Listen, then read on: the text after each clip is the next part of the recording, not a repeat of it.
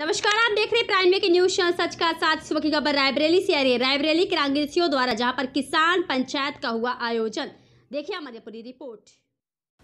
रायबरेली ज़िले के विकासखंड नदी क्षेत्र की ग्राम पंचायत पूरे गोसाई मचवेडीह में कांग्रेसी कार्यकर्ताओं द्वारा एक किसान पंचायत का आयोजन किया गया। किसान पंचायत में कई कांग्रेसी वक्ताओं ने अपने अपने विचार व्यक्त किए हैं, जिसमें कांग्रेस वक्ताओं ने भाजपा सरकार पर जमकर निशाना साधा। किसान पंचायत की अध्यक्षता, ब्लॉक अध्यक्ष डी शिवदर्शन पासी ने की संचालन राजीव द्विवेदी ने किया आयोजक राजीव त्रिपाठी रहे। इस मौके पर दिग्विजय सिंह संजय मिश्रा आलोक सिंह आशुतोष मिश्रा आदि सहित सभी न्याय पंचायत अध्यक्षगण ग्राम पंचायत अध्यक्षगण और कांग्रेसी कार्यकर्ता मौजूद थे। राजीव त्रिपाठी कांग्रेस कमेटी डी विधानसभा क्षेत्र सलोन संसदीय क्षेत्र अमेठी से। जी। भैया जी आप बताइए ये जो किसान चौपाल लगाया गया है किस संबंध में क्या है इसका उद्देश्य?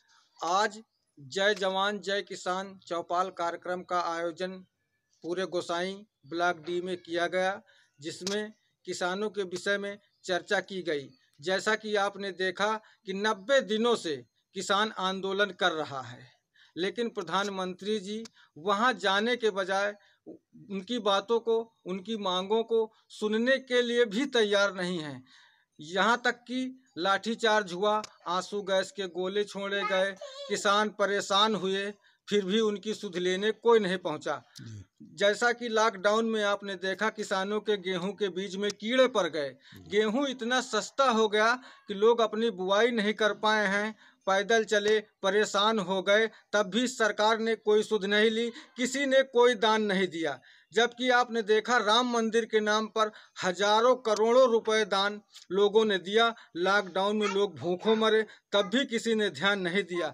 इस सरकार से किसान इतना त्रस्त हो गया है, युवा इतना परेशान, बेरोजगार हो गया है कि लोग हताश और परेशान हैं। इसलिए हमारी पार्टी ने किसान चौपाल का आयोजन किया। ये पूरे अमेठी में हो रहा है। हम लोग किसानों के हक के लिए लड़ाई लड़ रहे हैं। हमारी सरकार आई तो इस काले कानूनों को खत्म कर दिया जाएगा। जैसे कि हम एक चाय पीते हैं तो व्यापारी से उसका रेट पूछते हैं कि चाय की कीमत क्या है? तो वो कहता है, पाँच रुपये उसी तरह राहुल जी, प्रियंका जी, कांग्रेस पार्टी का कहना है कि किसान भाइयों, गेहूँ, धान, आलू आप पैदा करते हैं तो उसका रेट आप लगाइए। व्यापारी नहीं लगाएगा। तो हमारी सरकार आएगी तो किसानों की फ़सल की उपज का रेट किसान स्वयं लगाएगा कोई व्यापारी व्यापारी नहीं लगाएगा। हमारी पार्टी निरंतर आंदोलन कर रही है। अगर उनकी मांगों को नहीं माना गया तो हम लोग इस आंदोलन को और तेज करेंगे पूरे देश में इसका परचम लहलाएँगे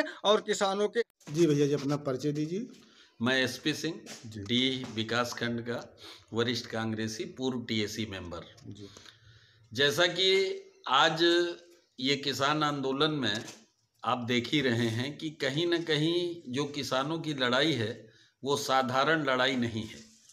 किसान अपनी ज़मीन में जो फ़सलें बोता है, वो लागत और उसका एमएसपी जाने का जो डर है, जिसे कहते हैं मिनिमम सपोर्ट प्राइस न्यूनतम समर्थन मूल्य, कांग्रेस ने सदैव स्वामीनाथन कमेटी की रिपोर्ट लागू की।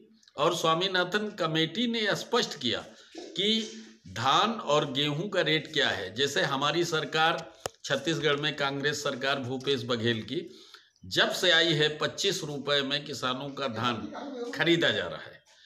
तो कहीं ना कहीं ये तीनों कानून भाजपा सरकार केवल उद्योगपतियों के लिए बना रही है, अडानी अंबानी के लिए बना रही है, जो कि वो अपनी मनमानी से किसानों का दोहन करेंगे और शोषण करेंगे।